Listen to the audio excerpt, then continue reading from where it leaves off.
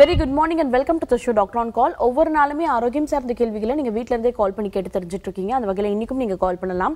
நீங்க கேட்கக்கூடிய அனைத்து ஆரோக்கியம் சார்ந்த கேள்விகளுக்கும் பதிலளிக்கிறதுக்காக ட்ரெடிஷனல் கேர் ஹாஸ்பிட்டல்ல இருந்து டாக்டர் ராஜலட்சுமி நம்ம கூட இணைஞ்சிருக்காங்க. வெல்கம் மேம் வணக்கம். பொதுவா நம்ம நிகழ்ச்சியில வந்துட்டு சர்க்கரை நோய்களுக்கான கேள்வி வந்துட்டு பல முறை பல பேர் கால் பண்ணி கேட்டிருக்காங்க. சர்க்கரை நோய்ன்றது இப்போ ஒரு அன்றாடம் எல்லாருக்குமே வரக்கூடிய நோயா மாறிடுச்சு. அந்த நோய்க்கு வந்துட்டு மாத்திரைகள் எடுத்தா போதும் இன்சுலின் எடுத்தா போதும் பல பேர் நினைச்சிட்டு இருக்காங்க ஆனா சரிவர இந்த சர்க்கரை நோயை கவனிக்கலனா அதனால வரக்கூடிய பல பாதிப்புகள் இருக்கு. குறிப்பா ரத்த நாளங்களில் ஏற்படக்கூடிய பாதிப்புகள் கொஞ்சம் அதிகப்படியாவே இருக்குன்னு சொல்லி தெரிஞ்சிட்டு இருக்கோம். அதை பத்தி நீங்க இன்னைக்கு விளக்கமா சொல்ல முடியுமா? கண்டிப்பாக. ஏன்னா நம்ம நிகழ்ச்சிகளை நம்ம தொடர்ந்து சொல்லிட்டே இருக்கோம். இப்போ ஒரு சர்க்கரை நோய் வந்துருச்சு அப்படின்னா அதனால வரக்கூடிய காம்ப்ளிகேஷன்ஸ் அதிகம். ஆனால் இப்போ ஒரு பிபி ஜாஸ்தி ஆகுதுன்னு வச்சுக்கோங்களேன் டக்குன்னு அவங்களுக்கு தலைவலி வரும். எல்லாம் ஏதாவது ஒரு அறிகுறிகள் தெரியும். ஆனால் இந்த சர்க்கரை அளவுக்கு அதிகமாக போகிறது வந்து நமக்கு தெரியல தெரியாது. அதே மாதிரி நம்ம தொடர்ந்து சொல்லக்கூடிய இந்த டெஸ்ட் வந்து பார்த்தீங்கன்னா ஹெச்பிஏஒன்சி அந்த மூன்று மாத பார்க்கக்கூடிய ஆவரேஜ் அது ஏன் சொல்கிறோம் அப்படின்னா இப்போ வந்து ஒரு ஃபாஸ்டிங் பிபி பிளட் சுகர் பார்க்குறோன்னு வச்சுக்கோங்களேன். ஏதோ ஒரு உணவு வந்து எடுக்கிறோம். ஸோ உணவு எடுத்துட்டு அந்த உணவு சாப்பிடுவதற்கு முன்னாடி எவ்வளோ இருந்தது? உணவு சாப்பிட்ட பிறகு எப்படி இருக்குங்கிறது நம்ம மெஷர் பண்ணுறதுக்கு முன்னாடி என்ன பண்ணுறோம் அப்படின்னா பாரம்பரிய மருத்துவ முறைகளை தாண்டி மற்ற ஏனைய மருத்துவ முறைகள் என்ன பண்ணுவாங்க அப்படின்னா அந்த உணவில் இருக்கக்கூடிய அந்த கார்போஹைட்ரேட்ஸ் வந்து ரத்தத்தில் வந்து சர்க்கரையாக உறிஞ்சி வெளி உறிஞ்சப்படாமல் வெளித்தெழுவதற்கு தான் அது வந்து ஹெல்ப் பண்ணும். ஸோ என்ன ஆகும் அப்படின்னா அந்த டூ ஹவர்ஸ்க்குள்ளே அது ஓரளவுக்கு கண்ட்ரோல் பண்ணி வந்து காமிக்கும். ஸோ இதை பார்த்துட்டு நம்ம என்ன நினைப்போம்? ஓகே நமக்கு சுகர் வந்து அவ்வளோவா இல்லை அப்படின்னு நினைப்போம். ஆனால் அந்த ஒரு டூ ஹவர்ஸ் கழித்து என்ன ஒரு ரெண்டு மணி நேரம் கழித்து நம்ம திருப்பி நம்ம இன்சுலின் கொஞ்சம் வேலை செய்ய ஆரம்பிக்கும் நேச்சுரலாக ஸோ அப்போ வந்து என்ன ஆகும் அப்படின்னா அவங்களுக்கு வந்து அந்த சுகர் வந்து தேவைப்படும். அப்போ என்ன ஆகும்னா அவங்களுக்கு அதான் தான் சொல்லுவாங்க சில பேர் எனக்கு திடீர்னு லோ சுகர் ஆயிடுச்சு ஒரு பதட்டம் படபடப்பு ஆகும் அப்படின்னா. உடனே நம்ம என்ன செய்யறது? ஈவன் ஒரு சர்க்கரையை கூட நம்ம எடுத்து போடுறோம். ஸோ அந்த சர்க்கரையை நம்ம டைஜஸ்ட் பண்ண செரிமானம் படுத்துவதற்கு நம்ம அப்போ மருந்துகள் எடுத்துக்கிறது கிடையாது. அப்போ வந்து என்ன ஆகும்னா திருப்பி அந்த பிளட்ல வந்து சுகர் லெவல் வந்து ஏறும். திருப்பி நீங்கள் அடுத்த வேளை எப்போ இரவு போடுறீங்களா அப்போ தான் வந்து அந்த- அந்த இதுக்குரியது வரும். ஸோ அப்போ நம்மளோட ஃபோக்கஸ் எப்படி இருக்கும்னா எனக்கு ஃபாஸ்டிங் பிபி பிளட் சுகர் வந்து நார்மலாக தான் இருந்தது. அந்த அளவுக்கு வந்து மோசமாக இல்லைன்னு. பட் இப்படியே ஒரு ட்ராவல் பண்ணிக்கிட்டு இருக்க ஒருத்தருக்கு வந்து அவங்களுக்கே தெரியாமல் நாட்பட்ட நாள் வந்து பிளட்டில் சுகர் லெவல் வந்து அதிகமாக ஆகிக்கிட்டே இருக்கும். ஸோ இந்த மாதிரி பிளட்டில் சுகர் லெவல் அதிகமாகிட்டு இருக்கப்பே என்ன ஆகும் அப்படின்னா இந்த சுகர் வந்து உறிஞ்சப்பட்டு எல்லாம் பிளட் வெசல்ஸில் ரத்த நாளங்களில் தான் ஓடுது. ஸோ அந்த ரத்த நாளங்கள் ஓடுறப்ப ரத்த நாளங்கள் பாதிப்படையும். எந்த வகையில் அப்படின்னா இந்த பிளட்ல சுகர் லெவல் அதிகமாக ஏற்படுறப்ப நம்ம ரத்த நாளங்களை பிளட் வெசல்ஸில் வந்து ஒரு திட்டுக்கள் மாதிரி சொல்லுவாங்க பிளேக்ஸ் அப்படின்னு சொல்லுவாங்க. ஸோ அந்த மாதிரி வந்து ஃபார்ம் ஆகும்.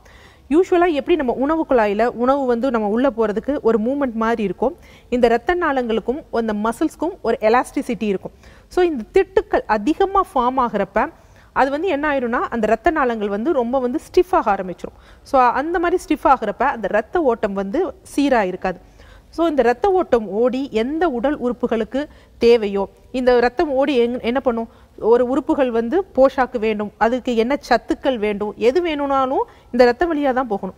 ஸோ அப்போ அந்த உடல் உறுப்புகள் வந்து பாதிக்க பாதிப்படைய ஆரம்பிக்கும். ஸோ அதனால தான் சில செல்கள் வந்து பாதங்கள்லையோ அந்த மாதிரி வந்து அந்த தேவையான அந்த போஷாக்கு கிடைக்காதப்ப ஈவன் ஆக்சிஜன் கூட வந்து கிடைக்காது.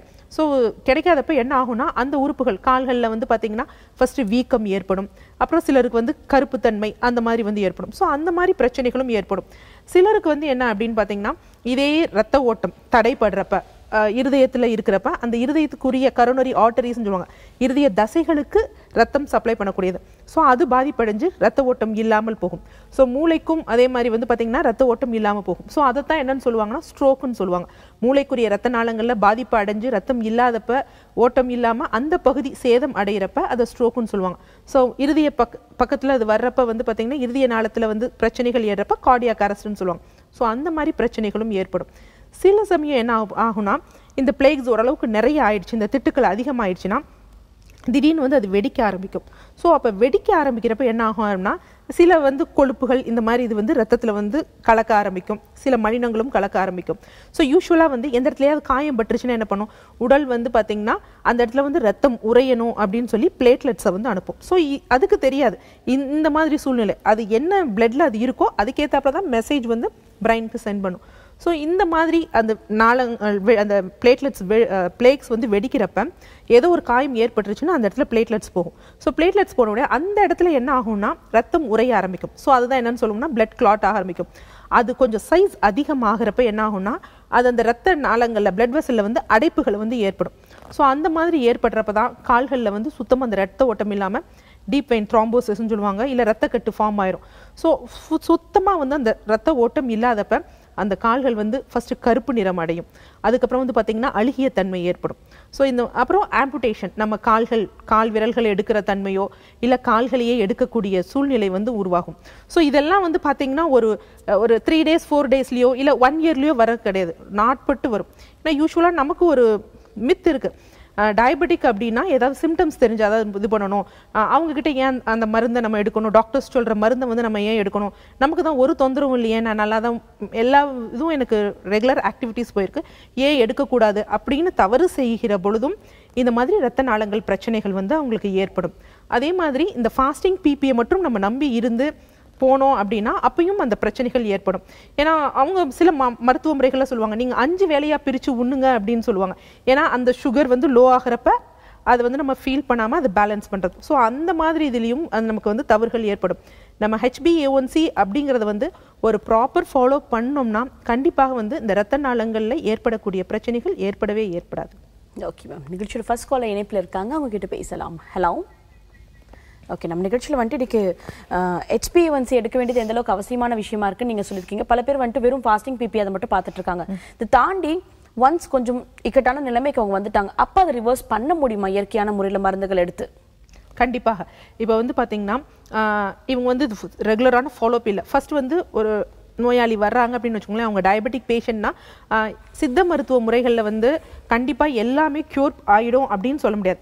எப்படி வந்து இங்கே type one type two type one point five நம்ம ஏற்கனவே டிஸ்கஸ் பண்ணியிருக்கோம். அதே மாதிரி சித்த மருத்துவ முறைகள்லையும் மூன்று பிரிவுகள் இருக்கு. வாதத்தால் வரக்கூடியது பித்தத்தால் வரக்கூடியதற்கு வரக்கூடியது வரக்கூடியது. இந்த பித்தத்தால் வரக்கூடியதும் கபத்தால் வரக்கூடியதும் வந்து கம்ப்ளீட்லி கியூரபிள் அதாவது நம்ம கண்டிப்பாக வந்து ரிவர்ஸ் பண்ணக்கூடியது. வாதத்தில் வரக்கூடியதான் நம்ம ரிவர்ஸ் பண்ண முடியாது. ஸோ மோஸ்ட் ப்ராப்ளி வந்து பார்த்திங்கன்னா இந்த டைப் ஒன் ஸோ டைப் ஒன்னில் என்ன நடக்கும் அப்படின்னா அவங்களுக்கு வந்து இன்சுலின் உற்பத்தி அப்படிங்கிறது வந்து இருக்காது. ஸோ அந்த மாதிரி இருக்கும் பட்சத்தில் நம்ம செயற்கையாக வந்து இன்சுலின் வந்து நம்ம கொடுக்குறோம். இந்த டைப் டூவில் என்னன்னா அவங்களுக்கு இன்சுலின் உற்பத்தி இருக்கும். ஆனால் அந்த இன்சுலினை வந்து பார்த்திங்கன்னா நம்ம செல்கள் உபயோகப்படுத்த முடியாத நிலைகள் வந்து ஏற்படும். ஸோ அந்த உபயோகப்படுத்த முடியாத நிலைகளில் தான் ரத்தத்தில் வந்து சர்க்கரை அளவு வந்து அதிகமாகும். ஸோ இப்படி இது அதிகமாக ஆகிக்கிட்டே இருக்கும். நம்ம என்ன செய்வோம்? இதை மட்டும் நம்ம குறைக்க மருந்து போட்டுகிட்டே இருப்போம். அப்போ அது வந்து பிரெயினுக்கு திருப்பி சிக்னல்ஸ் அனுப்பும். இல்லை இல்லை பிளட்டில் சுகர் லெவல் வந்து இதாக தான் இருக்குது நீ இன்சுலின் வந்து செக்ரீட் பண்ணுறத கம்மி பண்ணிடு வேணான்னு.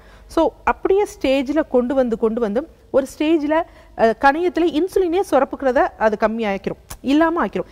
அது அதாவது ஸ்டே டைப் டூவில் இருக்கவங்க தங்களையே அறியாமல் நாட்பட்ட காலமாக அவங்க செய்யக்கூடிய தவறுகளால் டைப் ஒன்னுக்கு வந்து போயிடுவாங்க. ஸோ அந்த மாதிரி சூழ்நிலைகள் போயிட்டா அது ரிவர்ஸ் பண்ணுறது ரொம்ப கஷ்டம். பட் டைப் டூவில் நீங்கள் ஹெச்பிஏஒன்சி என்ன லெவலில் வேணுமோ அது இருக்கட்டும். ஃபஸ்ட்டு டைப் ஒன்னா டைப் டூ ஒன்னு அதற்கான முறையான டெஸ்ட்கள் இருக்குது ஸோ அந்த அதை நம்ம சி பெப்டைடு அப்படின்னு இருக்கு. ஸோ இந்த இன்சுலின் வந்து சுரக்கிறப்ப அதோட அசோசியேட்டடாக வந்து சுரக்கக்கூடியது. இன்சுலினும் நம்ம டைரெக்டாக பார்க்கலாம். பட் சி பெப்டைடு ஏன் குறிப்பாக பார்க்குறோம் அப்படின்னா பெரிஃபரல் பிளட் வெசல்ஸ் சொல்லுவாங்க. அதில் ரொம்ப காலம் வந்து நமக்கு தெரியக்கூடிய வகையில் இருக்கிறது இந்த சி பெப்டைடு தான். அதனால் அந்த சி பெப்டைட் எடுத்து பார்த்துட்டு ஓகே இவங்க டைப் டூ தான். சப்போஸ் அவங்க இன்சுலினே போட்டுக்கிட்டு இருக்கிறவங்கனாலும் அவங்களுக்கு ஒரு ஒன் டே வந்து இன்சுலினை ஸ்டாப் பண்ணி வச்சுட்டு இந்த சி பெப்டைடை நம்ம எடுத்தோம் அப்படின்னா உங்களுக்கு தெரிஞ்சு போயிடும் இல்லை அவங்களுக்கு இன்சுலின் சுரப்பு இருக்குது இவங்க இன்சுலின் இன்ஜெக்ஷனை நம்பி தான் இவங்க வாழணுங்கிற அவசியம் இல்லை அப்படின்னு சொல்லிட்டு படிப்படியாக வந்து நம்ம குறைக்கலாம். ஒரு ஒரு தப்பான ஒரு மித் என்ன அப்படின்னா ஒரு மருந்து சாப்பிட்ட உடனே இந்த ஃபாஸ்டிங் பிபியை பார்த்து சுகர் குறைக்கணும். அப்படி கிடையவே கிடையாது. கொஞ்சம் உடம்பு அதுவாக கொஞ்சம் மெனக்கெடும். ஒரு வந்து ஒரு பத்து வயது குழந்தை அதுக்கடுத்து ஒரு நாற்பது வயதில் இருக்கவங்க ஒரு எழுபது வயதில் இருக்கவங்க இவங்க மூன்று பேருக்கும் செரிமானம் ஒரே மாதிரி இருக்காது. அதே மாதிரி தான் நம்ம உடம்புல இருக்க சர்க்கரையை வந்து செரிமானப்படுத்தி அது நம்ம செல்களுக்கு எடுத்துக்கொள்ளக்கூடியது எல்லாருக்கும் ஒரே மாதிரி இருக்காது. குழந்தைகளுக்கு கொஞ்சம் ஆக்டிவாக இருக்கும். ஃபார்ட்டி இயர்ஸில் கொஞ்சம் கம்மியாக இருக்கும். செவன்ட்டி இயர்ஸில் அது கம்மியாக இருக்கும். ஸோ அதை திருப்பி நம்ம எடுத்துக்கொள்ளக்கூடிய செயல்களில் கொஞ்சம் கொஞ்சமாக கொண்டு வரப்ப நல்ல முன்னேற்றம் ஏற்படும். டயபெட்டிக்லேருந்து கண்டிப்பாக வந்து நம்ம ரிவர்ஸ் ஆயிடலாம். அதனால் எந்த லெவலில் இருக்காங்கங்கிறது பிரச்சனையே கிடையாது. அந்த சீரிய உணவு முறை அவங்க என்ன டைப் அப்படின்னு பார்த்து ட்ரீட்மெண்ட் கொடுத்தா கண்டிப்பாக ரிவர்ஸ் பண்ணிடலாம். ஓகே மேம் நிகழ்ச்சியோட ஃபர்ஸ்ட் கால இணைப்பில் இருக்காங்க. ஹலோ ஹலோ வணக்கம். சொல்லுங்கம்மா உங்க பேர் என்ன? ஹலோ ராணிப்பேட்டையில இருந்து பேசுறேங்க. உங்க பேருமா? பேரு சாந்தகுமாரி வயது அறுபத்தி ஒன்பது வயசு ஆகுதுங்க. ஓகே உங்களோட கேள்வி என்னம்மா?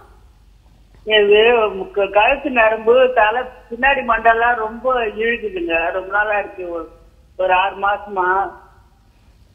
ஸ்கின் டாக்டர்கிட்ட பார்த்தேன். அதுனா ஒரு ஆயில்மெண்ட் தேய்க்கிறது கொடுத்தாங்க மாத்திரை கொடுத்தாங்க. அப்ப கூட அப்படிதான் இருக்குது. அது ஈரமா என்னன்னு தெரியலங்க. ஏன்னா பின்னாடி மண்டை கழுத்து எல்லாம் அப்படியே எனக்கு இது நரம்பு சுத்தின மாதிரி இருக்கு. ரொம்ப வலி எடுக்குது முதுவெல்லாம் வலி எடுக்குது. வணக்கம்மா. வணக்கம்மா. வணக்கம்மா. இப்போ உங்களுக்கு வந்து கழுத்து பகுதி இதுல வலி இருக்குன்னு சொல்றீங்க. நரம்பு சுத்தின மாதிரி பச்சை நரம்புகளா? இல்ல வந்து பாத்தீங்கன்னா அப்படி நரம்பு சுத்துற மாதிரி. பின்னாடி தலை மண்டை பின்னாடி மண்டெல்லாம் ஜிவ் ஜிவ்னு ஓகே. கைகள்லாம் தூக்க முடியுதாமா வலது கை இடது கையெல்லாம் தோள்பட்டைக்கு மேல தூக்க முடியுதா? அதுல- ஒண்ணும் பிரச்சனை இல்ல. கழுத்துகள்லாம் திருப்ப வாங்குது மூச்சு வாங்குது பிபி இருக்குது. டயர்டா இது அடிக்கடி உடம்பு அதுதான் சுகர் இருக்காமா சுகர் இல்ல பிபி தான் இருக்கு. பிபி சீரா இருக்கா? நார்மலா இருக்கா? பிபி பிபி இருக்குது. நான் அது ஹை பிபி தான் இருக்கு. ஹை பிபி தான் இருக்கு. மருத்துவர்கிட்ட திருப்பி நீங்க அதற்கு பார்த்து சீராக்குறதுக்கு மருந்து எல்லாம் சாப்பிட்டு இருக்கிறதுக்கு. ஓகே மூச்சு வாங்குது. கால் வீக்கம் இருக்காமா? மூச்சு வாங்குது. கால் வீக்கம் இருக்கா? கால் வலி முட்டி வலி இருக்கு. வீக்கெல்லாம் இல்ல. முட்டி வலிக்கு ரொம்ப நடக்க முடியறது இல்ல ஓகே மார்பு மார்பு வலி, பகுதியில? முட்டி வலி எல்லாம் இருக்கு உடம்பு. ஓகேம்மா மார்பு பகுதி மார்பு பகுதி மேல் பகுதியில? இல்ல இந்த இடத்துல ஷோல்டர்ல அந்த இடத்துல உங்களுக்கு வீக்கம் ஏற்படுதா? அதுல வீக்கெல்லாம் ஒண்ணு இல்லைங்க. அந்த கழுத்து தான் வீங்கிட்டுக்குது. இந்த கழுத்து நரம்பெல்லாம் இழுக்குது. இல்லம்மா நரம்புகள் வேற ரத்த நாளங்கள் வேற. இப்ப வந்து பாத்தீங்கன்னா மூளையில இருந்து நம்ம உடம்புக்கு நரம்பெல்லாம் வீக்கா இருக்குதுன்னு சொல்லிதான் மாத்திரை கொடுத்தாரு. ஓகே. நரம்பு வீக்னஸ் ஆகுது ஆயில்மெண்ட் மாதிரி போட சொல்றாங்க டெய்லி இல்லம்மா ஸ்கின் டாக்டர்கிட்ட போனீங்களா இல்ல ஆர்த்தோ டாக்டர்கிட்ட போனீங்களா? ஆத்தா டாக்டர் போல போல. ஓகே. ஸ்கின் டாக்டர்கிட்ட போனீங்க ஆனா உங்களுக்கு வந்து அவ- அவர் வந்து உங்களுக்கு வந்து இந்த நரம்புகளுக்குரிய மருந்தும் அதுக்கப்புறம் வெளியே தடவுற மருந்துகளும் கொடுத்துருக்காங்க அப்படிதானே? ஆமா. ஓகேம்மா. அதாவது ஒரு ஏஜுக்கு மேல என்ன ஆகும்னா இப்படி நம்ம மூளையில இருந்து வரக்கூடிய அந்த நரம்புகள் இருக்கு பாத்தீங்களா? உடல்ல எல்லா பகுதிகளும் வரக்கூடிய நரம்புகள். நம்ம முதுகுல இருந்து வந்து பாத்தீங்கன்னா நம்ம கொடி கோயில் கொடிமரம் இருக்கு பாத்தீங்களா? அது மாதிரி ஒரு பகுதி வந்து நம்ம முதுகு தண்டுவடத்துல வந்து இருக்கு. ஸோ அதுல இருந்து தான் நரம்புகள் நம்ம உடல் உறுப்புகளுக்கு போகும். கொஞ்சம் வந்து அந்த கொஞ்சம் ஏஜ் ஆகுறப்ப சில எ- எலும்புகள் தேய்மானம் ஏற்படுறப்ப அது என்ன ஆகும் அப்படின்னா ஒரு எலும்பு மேலே இன்னொரு எலும்பு அழுத்தம் கொடுக்குறப்ப அந்த இடத்துல வரக்கூடிய நரம்புகள் வந்து நசுங்கப்படுமா நசுங்கப்படுறதுனால தான் அந்த வழிகள் இங்கே வந்து பரவும் அது கழுத்துக்கு சிலருக்கு போகும். அது மாதிரி பின்னாடி நம்ம பிடரி இருக்கு பார்த்தீங்களா அங்கே பரவும். சிலருக்கு வந்து முகத்தில் வந்து பரவும். அந்த மாதிரி பிரச்சனைகள் இருக்கும். நீங்கள் நீங்க அறுபத்தொன்பது வயது அப்படிங்கிறப்ப வந்து என்ன மோஸ்ட் ப்ராப்ளி நம்ம தேவைக்கு அதிகமாக வந்து மருந்து மாத்திரைகள் எடுக்க முடியாது.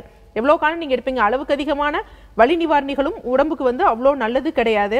ஆனால் நீங்கள் உங்களோட வாழ்வியல் முறைகளில் தான் மாற்றம் ஏற்படுத்தணும். எப்படி மாற்றம் ஏற்படுத்தணும் அப்படின்னா தலக தலையணை எல்லாம் வந்து பார்த்தீங்கன்னா தலகாணி நல்லா உயரமாக வச்சு படுக்கிறீங்கன்னா அந்த மாதிரிலாம் உயரமாக வச்சு படுக்காதீங்க. ஒரு சின்ன துண்டாட்ட சுருட்டி இப்படி கழுத்துக்கிட்ட வச்சு படுங்க. தூக்கம் வரும் வரை இடது பக்கமோ வலது பக்கமோ திரும்பி படுக்காமல் மல்லாந்து படுங்க. இடுப்பு கீழே கால்களை வந்து ஜஸ்ட் கொஞ்சம் உயர்த்தி வந்து படுங்க. ஸோ அந்த மாதிரி படுக்கிறப்ப அந்த இடத்துல உங்களுக்கு வந்து அவ்வளவா அழுத்தம் ஏற்படாமல் இருக்கும். சமையல் செய்கிறீங்க அப்படின்னா நீங்கள் காலர் பெல்ட் அந்த மாதிரி போட்டுட்டு சமையல் செஞ்சீங்க அப்படின்னா அந்த இடத்துல கம்ப்ரெஷன் அதிகம் வந்து ஏற்படாது. துணி துவைக்கிறீங்க அப்படின்னா ரொம்ப வந்து குனிஞ்சு துணி துவைக்கிறதெல்லாம் துவைக்காதீங்க. ஸோ அந்த மாதிரி பண்ணாலே வந்து பார்த்தீங்கன்னா உங்களுக்கு வலிகள் வந்து கொஞ்சம் கொஞ்சமாக குறைஞ்சிரும். மருத்துவர்கள் கொடுக்கக்கூடிய அந்த மேலே தடவக்கூடிய ஆயின்மெண்ட்டை தடவிக்கோங்க. அதிக காலம் உள்ளே வந்து வலி நிவாரண மாத்திரைகள் எடுப்பது நல்லது இல்லைம்மா நன்றிம்மா. உங்களோட அடுத்த அழைப்பாளர் இணைப்பில் இருக்காங்க. ஹலோ ஹலோ குட் மார்னிங் சொல்லுங்கம்மா உங்க பேர் என்ன? ஆ மேம் என் நேம் ராதிகா. நான் சென்னையில இருந்து கால் பண்றேன். என் அம்மாக்காக கேட்கணும். ஓகே ராதிகா. உங்க அம்மாவோட வயசு என்ன? எங்க அம்மாவுக்கு வந்து ஃபார்ட்டி த்ரீ ஆகுது டயபிட்டிஸ் பேஷண்ட்டு டென் மந்த்ஸ்க்கு பிஃபோர் வந்து ஹார்ட் அட்டாக் ஆயிடுச்சு மேம் வணக்கம் ராதிகா. யா வணக்கம் மேம் சொல்லுங்கம்மா. அம்மாக்காக கேட்க வந்திருக்கேன். அம்மாக்கு வந்து ஏஜ் வந்து forty three. Type two diabetes வந்துட்டு எயிட் மந்த்ஸ் தான் அவங்களுக்கு இருக்கு. லாஸ்ட் டென் மந்த்ஸ்க்கு பிஃபோர் வந்துட்டு அவங்களுக்கு அட்டாக் வந்துடு. டாக்டர் என்ன சொல்றாங்க? பிரான்ச் வெசல்ஸ்ல இருக்கு. அதனால ப்ராப்ளம் எதுவும் இல்ல. ஆபரேஷன் வேண்டாம் அப்படின்னு சொல்றாங்க. 90% பர்சன்ட் இருக்கு பிளாக் ஆனா. ஓகே ட்ரிபிள் வெசல்னு சொன்னாங்களாமா என்னது மேம் ட்ரிபிள் வெசல்னு சொன்னாங்களா? எல்சிஎஸ்ல இருக்கு ma'am three வெசல்ஸ்ல block. Fifty sixty and ninety ma'am okay okay அந்த நைன்டி வெசல்ஸ்ல என்ன அப்படின்னா அது பிரான்ச் வெசல்ஸ்ல இருக்கு. அதனால ப்ராப்ளம் இல்ல அப்படின்னு சொல்றாங்க. ஆனா அவங்களுக்கு எப்பவுமே அங்க வந்துட்டு ஒரு செஸ்ட்ல வந்து பெயின் இருந்துட்டே இருக்கு. குத்துதுன்னு சொல்றாங்க. அடிக்கடிக்கு பிரீத்திங் ப்ராப்ளம் வருது. ஆனா நான். என்ன பண்றேன்? மருதம் பத்து சூர்ணமும் அவங்களுக்கு டெய்லியும் ட்வைஸ் கொடுக்குறேன். அதுக்கப்புறம் என்ன ஆயிடுச்சுன்னா அட்டாக் வந்ததுல இருந்து ஃபைவ் டேஸ்க்கு சிக்ஸ் டேஸ் ஒன்ஸ் தான் வந்துட்டு அவங்களுக்கு மோஷன் வருது. அதனால திருப்பலா சூர்ணமும் கொடுத்துட்டு இருக்கேன். அதுதான் என்ன இது? ஆபரேஷன் இல்லாம இது சரி பண்ண முடியுமா நம்ம உங்க வயது traditional மூலியமா அப்படின்னு சொல்லிட்டு உங்க வயது என்ன? எனக்கு வந்து டுவெண்ட்டி த்ரீ மேம் ஓகே நீங்க மருத்துவரா? இல்ல மேம் இல்ல மேம் ஓகே இந்த மருதம்பட்டை சூர்ணம் மருத்துவர் மூலம் தான் பரிந்துரைச்சு எடுத்துக்கிறீங்களா? எஸ் மேம் சித் சித்த ஹாஸ்பிட்டல்ல போய் நாங்க கேட்டோம். Okay. மல்தம்பட்ட சூர்ணம் எடுங்க அப்படின்னு சொன்னாங்க. இல்ல டாக்டர்ஸ் ஆனா அட்வைஸ் பண்ணாங்களா? என்னது மேம் டாக்டர்ஸ்ட நேர்ல போய் பார்த்து அட்வைஸ் கேட்டு இந்த இதை எடுத்தீங்களா? ஆமா மேம் ஆமா மேம் ஏன்னா நம்ம என்எஸ்கே சித்த ஹாஸ்பிட்டல் இருக்குல்ல அங்க போய் கேட்டுட்டு தான் இதை எடுத்தோம் மேம் ஓகேம்மா இப்போ வந்து பாத்தீங்கன்னா அம்மாவுக்கு வந்து எக்கோ பார்த்திருப்பாங்க. அதுல இஎஃப் எல்வி இஎஃப்ங்கிறது எவ்வளவு இருந்தது? இஎஃப் வந்துட்டு பிப்டி செவன் இருந்தது ma'am fifty seven yes ma'am okay fifty வரைக்கும் இருக்கலாம். ஃபிஃப்டி செவன்ங்கிறது ஓகே அதாவது இப்போ நீங்க இந்த டை அதாவது கார்டியாக் அரெஸ்ட் வர்றதுக்கு முன்னாடி அம்மாவுக்கு நீங்க எந்த லேப் இன்வெஸ்டிகேஷன் பிளட் எது பிளட் டெஸ்ட் எதுவும் பண்ணது கிடையாதா? இல்ல மேம் சுகருக்கு மட்டும் நாங்க அடிக்கடிக்கு செக் பண்ணிப்போம். வேற எதுவுமே கொலஸ்ட்ரால் அப்படி இப்படின்னு நாங்க எதுவுமே செக் பண்ணது இல்ல அப்ப வந்து சுகர் வந்து இல்ல. கார்டியாக் அரெஸ்ட் வர்றதுக்கு முன்னாடி சுகர் இல்லையா? இல்ல மேம் அம்மாக்கு எயிட் இயர்ஸா சுகர் இருக்கு. டைப் டூ டயபிட்டிஸ் அவங்க. ஓகே ஓகே சரி நிகழ்ச்சியை தொடர்ந்து கவனிங்கம்மா. கண்டிப்பா அதற்கு தீர்வு சொல்றேன். ஸோ நீங்க இப்போ உங்க அம்மாவுக்கு சொல்லக்கூடியது என்ன அப்படின்னு பாத்தீங்கன்னா ட்ரிபிள் வெசல் டிசீஸ்னு சொல்லுவாங்க. அது வந்து கொஞ்சம் காம்ப்ளிகேட்டான ஒரு விஷயம் தான் அதுவும் அம்மாவுக்கு வந்து 90% பர்சன்டேஜ் வந்து பிளாக் இருக்கு. பட் ஆனால் நீங்கள் சொல்ல சொல்கிற மாதிரி வந்து பார்த்தீங்கன்னா சப்போர்ட்டிங் பிளட் வெசல்ஸில் தான் வந்து பார்த்தீங்கன்னா அந்த பிளாக்ஸ் வந்து இருக்குது மெயின் ஆர்டரிஸில் அந்த பிரச்சனை இல்லைங்கிறதுனால ஓகே அது ஒரு அவ்வளோ பயப்பட வேண்டிய விஷயம் இல்லை. இருந்தாலும் நம்ம அதை அவ்வளோ அசா சாதாரணமாக விட்டுறக்கூடாது. ஸோ எஜெக்ஷன் ஃப்ராக்ஷன் வந்து பார்த்தீங்கன்னா நம்ம ஹார்ட்டில் இருந்து உடலின் பிற பகுதிக்கு வந்து ஹார்ட்டோட அந்த இடது பக்கத்தில் கீழே வென்ட்ரிக்கல்ஸ்லேருந்து பிளட் போகும். நல்ல பிளட் உடம்பு எல்லாத்துக்கும் போகும். ஸோ அது வந்து பார்த்திங்கன்னா ஓகே ஃபிஃப்டி செவன் ஃபிஃப்டி வரைக்கும் இருக்கலாம். ஃபிஃப்டி செவன்ங்கிறது ஓகே ஸோ அப்போ ஹார்ட்லேருந்து மற்ற உடலுக்கு போகக்கூடிய பிளட் பிளட்டோட அவுட்புட் வந்து எந்த பிரச்சனையும் இல்லை அப்படின்னு இருக்கு என்ன அப்படின்னு பார்த்தீங்கன்னா இந்த கரோனரி ஆர்டரிஸ் மட்டும்தான் பாதிக்கப்பட்டிருக்கு. ஸோ இதற்கு காரணம் என்ன அப்படின்னு பார்த்தீங்கன்னா நான் முன்னாடி சொன்ன மாதிரி அந்த நாட்பட்ட பிளட் சுகர் இருக்குது. பிளட் சுகர் இருக்குது. இருந்தாலும் வந்து நம்ம இந்த ஃபாஸ்டிங் பிபிஏ பார்க்குறோம். யார் ஒருத்தர் வந்து இந்த ஹெச்பிஏ ஒன் சி மெயின்டைன் பண்ணாமல் ஃபாஸ்டிங் பிபிவே பார்த்துட்டு வரவங்களுக்கு கண்டிப்பாக நாள்பட்ட நான் இதில் வந்து இந்த மாதிரி பிரச்சனைகள் ஏற்படும். ஸோ இப்போ நீங்கள் மருதம்பட்டை சூர்ணம் எடுத்திருக்கீங்க. அது கண்டிப்பாக ஒரு நல்ல ஒரு தீர்வு கொடுக்கும். மெயின்டைன் பண்ணுவோம் ஏன்னா மருதம்பட்டை வந்து பார்த்தீங்கன்னா இருதய வேலை செய்வதற்கும் அந்த ரத்த நாளங்களை வந்து பார்த்தீங்கன்னா அந்த பிளேக்ஸ் ஃபார்ம் பண்ணுறதையும் கண்டிப்பாக தடுக்கும். ஸோ அந்த இது பண்ணலாம். பட் இருந்தாலும் கொஞ்சம் பிளட் ஃப்ளோ நல்லா இதாகிற மாதிரியும் அந்த பிளாக்கை ரிமூவ் பண்ணுற மாதிரியும் நம்ம மெடிசன்ஸ் எடுக்கிறப்ப கண்டிப்பாக வந்து அந்த நம்மளே வந்து இது பண்ணலாம். எப்படின்னா எடுத்தோடனே அதுக்காக நம்ம ஆன்ஜியோகிராம் பண்ணி பார்க்க முடியாது. பீரியாடிக்காக நம்ம பார்க்க முடியாது. நம்ம சொல்லக்கூடிய அந்த எஜெக்ஷன் ஃப்ராக்ஷன் இருக்குது பார்த்தீங்களா இப்போ ஐம்பத்தேழு சதவீதம் இருக்கிறது. ஒரு மூன்று மாதத்தில் வந்து அறுபத்தி ரெண்டு சதவீதம். அந்த இம்ப்ரூவ்மெண்ட்ஸ் கண்டிப்பாக வரும். ஸோ அந்த இம்ப்ரூவ்மெண்ட்ஸ் வந்து நார்மல் ஆகிறப்ப திருப்பி நீங்கள் நம்ம மரு மருத்துவர்கிட்ட ரீசெக் பண்ணிக்கலாம். ஒரு ஆஞ்சியோகிராம் பண்ணி கண்டிப்பாக அந்த பிளாக்கை வந்து ரிமூவ் பண்ண வாய்ப்புகள் நூறு சதவீதம் இருக்குமா பயப்பட வேண்டிய அவசியம் இல்லை. நன்றிம்மா. தேங்க்யூம்மா கால் பண்ணதுக்கு. நெக்ஸ்ட் காலர் இணைப்பில் இருக்காங்க. ஹலோ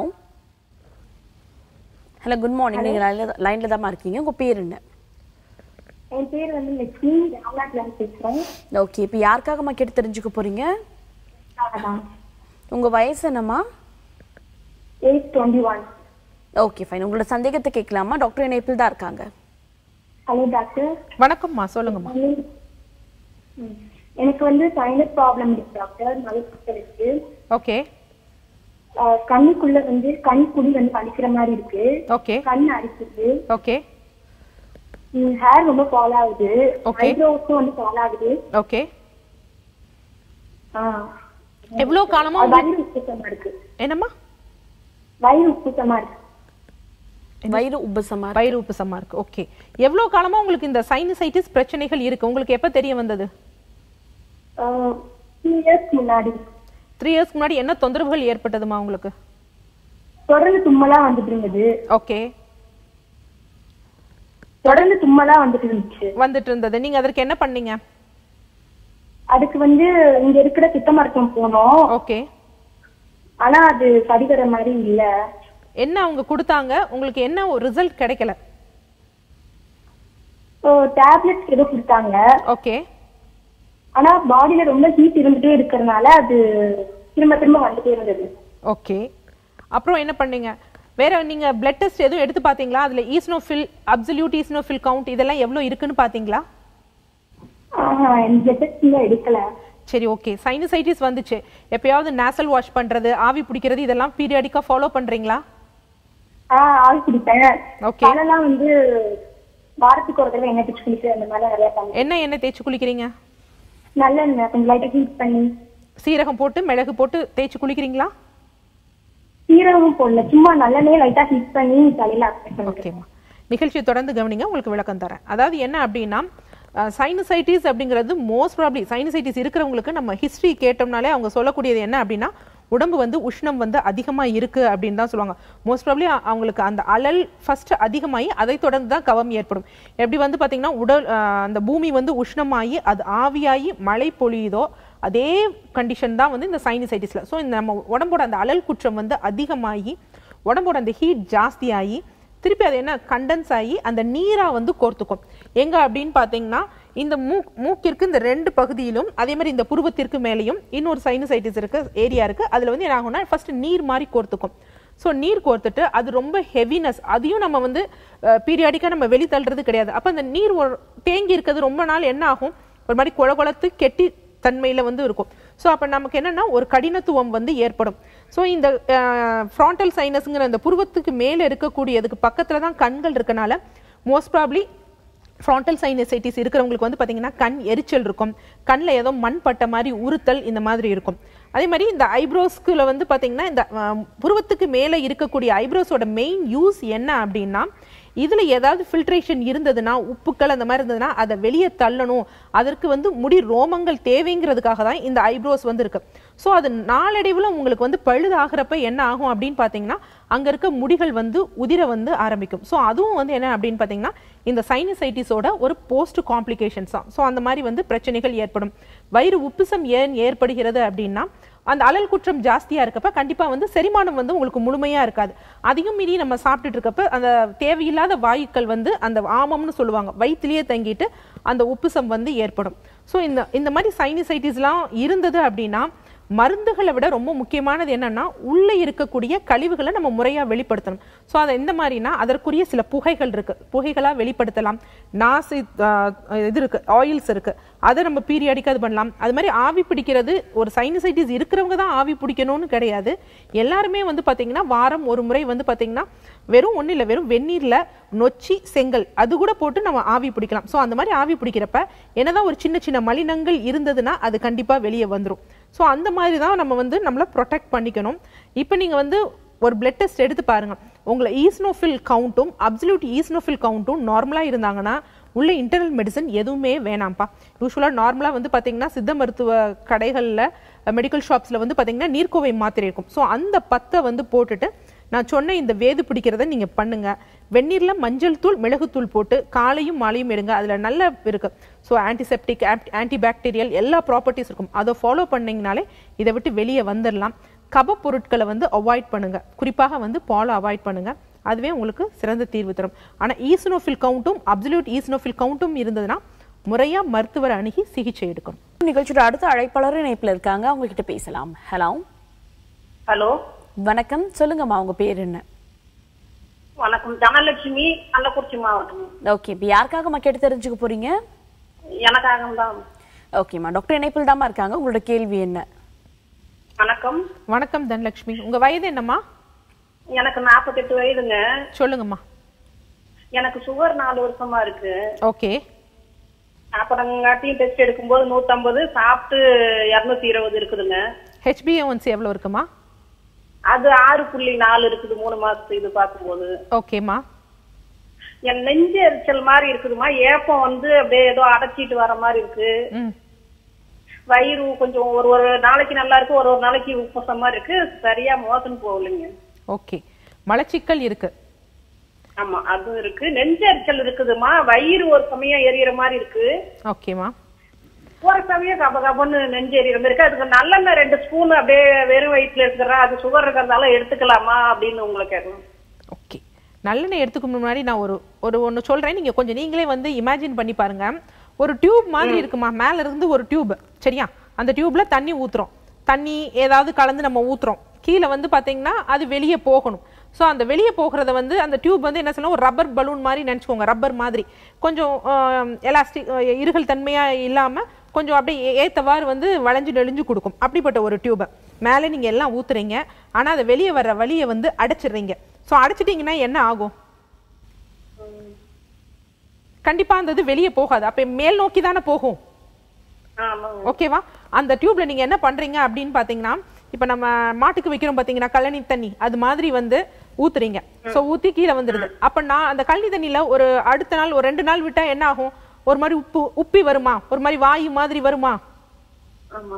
அதே நிலைமை தான் நம்ம உடல்லையும் ஏற்படும். ஸோ இந்த மலச்சிக்கல் இங்கே மலம் போகலை அது கீழே அப்படியே ஆனால் ஏதோ செரிமானமாகி பாஷிலாகி கீழே வந்து நிற்கிது ஆனால் அது போக வேண்டிய நேரத்தில் போகலை.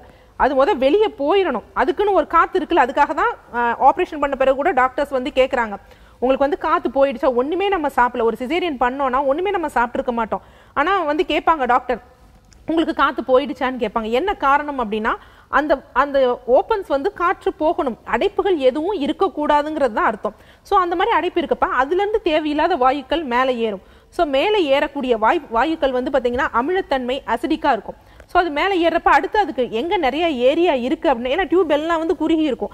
அதிக இடம் எங்கே இருக்குதுன்னு பார்த்தீங்கன்னா வயிற்று பகுதியில் தான் அதிக இடம் இருக்கும். ஸோ எல்லாம் போய் அந்த காற்றுக்கள் வந்து அங்கே தான் வந்து அடைச்சிக்கும். ஸோ அடைச்சிக்கிட்டு மேல் வயிறு வந்து உப்பி காணப்படும். அதுக்கடுத்து அது என்ன வேலை செய்யும்? அது அந்த உள்ளே இருக்க அந்த வயிற்று பகுதியில் சளிச்சவ்வு மாதிரி இருக்குது பார்த்தீங்களா? அதை அரிக்க செய்யும். அந்த அமிலத்தன்மை உடையது தானே. ஸோ அது வந்து என்ன ஆகும் புண்கள் ஆகும் ஆனால் நம்ம எப்பயுமே வந்து பார்த்திங்கன்னா மோஷன் போகிறத பற்றி பல பேருக்கு முழுமையாக வந்து மலம் கழிதலே கிடையாது. அதுவும் இல்லாமல் மலச்சிக்கல் இருக்கப்ப நம்ம என்ன செய்வோம்? அடுத்த வேலை உணவு இது பண்ணுவோம். ஏன்னா நம்ம தான் ஒரு மைண்ட் செட் இருக்குல்ல சுகர் இருக்குது மூணு வேளை மாத்திரை போடணும். அந்த மாத்திரைக்காக சாப்பிடணும் அப்படின்னு வந்து ஏன்னா உணவுக்காக மாத்திரைகள் அப்படிங்கிற பழக்கம் போய் மாத்திரைக்காக உணவு சாப்பிடக்கூடிய வழக்கத்துக்கு வந்து நம்ம வந்துட்டோம். அப்போ அந்த மாத்திரையை போடுவோம் எப்படி உ- உணவு வந்து செரிமானமாகும்? ஆகாது. அப்போ ஏற்கனவே இங்கே காற்று நிரம்பி இருக்கு. அப்போ என்ன ஆகும்னா அந்த வயிற்றுப்பகுதிக்கும் அதுக்கு மேலே இருக்க ஃபுட் பைப்புக்கும் நடுவில் ஒரு மேலே ஒரு இது மாதிரி இருக்கும். நம்ம வாஷிங் மிஷினில் இருக்கக்கூடிய ஃப்ளாக் மாதிரி இருக்கும். அது மூடாது திறந்துக்கும். ஸோ சாப்பிட்ட சாப்பாடு எதிர்கழிக்கும் ஸோ நம்ம செய்யக்கூடிய தொடர் வந்து நி- நிகழ்வுகள். இந்த ஏன் மலச்சிக்கல் இருக்குது அப்படின்னா நார்மலாகவே வந்து பார்த்திங்கன்னா டயபெட்டிக் இருக்கிறவங்க டயபெட்டிக்கே வந்து செரிமானம் முழுமையாக இல்லாதனால வரக்கூடிய ஒரு நோய் தான்.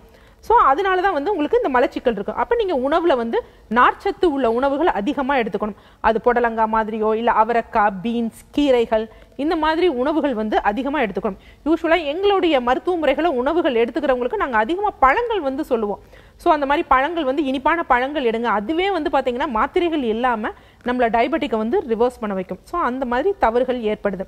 அடுத்து நீங்கள் சொல்லக்கூடிய விஷயம் என்ன அப்படின்னு பார்த்தீங்கன்னா நான் நல்லெண்ணெய் வந்து எடுத்துக்கலாமா அப்படின்னா நல்லெண்ணெய் நல்ல விஷயம்தான்.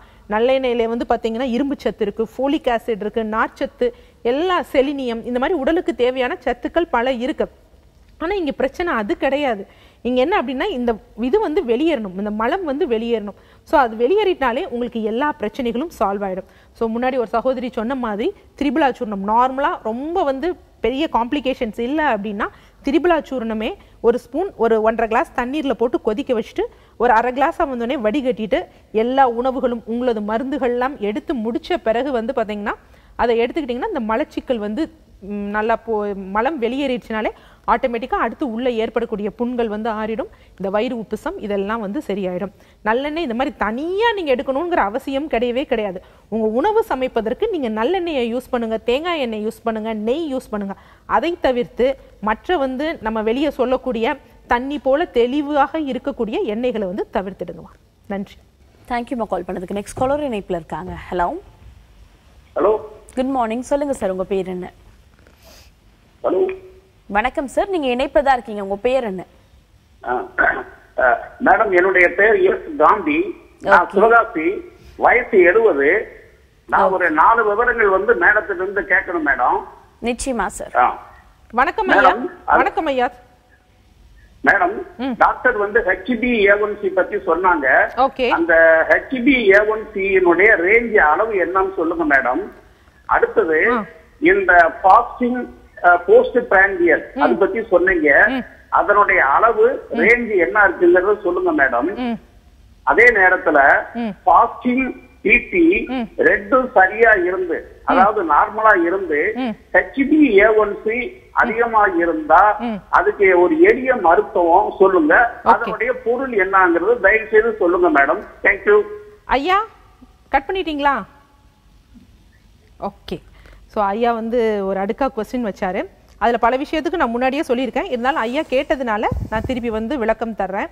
ஹெச்பிஏஒன்சி எவ்வளோ ரேஞ்சில் இருக்கணும் அப்படின்னு பார்த்தீங்கன்னா ஒரு ஐந்து வருடங்களுக்கு முன்னாடி வரைக்கும் வந்து பார்த்தீங்கன்னா சிக்ஸ் வரைக்கும் இருந்தால் ஓகே நான் டயபெட்டிக் ஃபைவ் இப்போ வந்து ஃபைவ் பாயிண்ட் எயிட் அப்படின்றாங்க.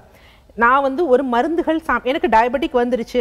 நான் மருத்துவம் வந்து இதற்கு மேற்கொள்கிறேன் அப்படிங்கிறப்ப வந்து என்ன அப்படின்னு பார்த்தீங்கன்னா ஒரு செவன் வரைக்கும் இருந்தால் ஓகே உங்களோட வந்து அந்த டயபெட்டிக் அப்படிங்கிறது வந்து ரொம்ப மோசமான நிலைமையில இல்லை. ஒரு நார்மலான இதில் தான் ஜோனில் போய்கிட்டு இருக்குன்னு. அந்த செவன்லேருந்து நைன் வரைக்கும் இருந்ததுன்னா இல்லை. நீங்கள் உணவுகள்லையும் மற்றதுலேயும் உணவுகளில் ஃபஸ்ட்டு கட்டுப்பாடு கொண்டு வாங்கன்னு அர்த்தம்.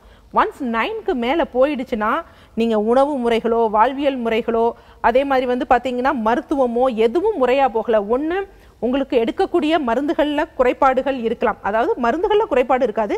அதோட டோஸ்லேயோ அந்த வழங்கக்கூடிய முறைகள்லையோ. அதே மாதிரி வந்து என்ன அப்படின்னு பார்த்தீங்கன்னா நீங்கள் மருத்துவம் உங்களோட சேர்ந்து உணவு முறை வந்து சரியாக ஃபாலோ பண்ணலாம் அப்படி ஃபாலோ பண்ணலை அப்படிங்கிறதையும் வந்து வச்சுக்கலாம்.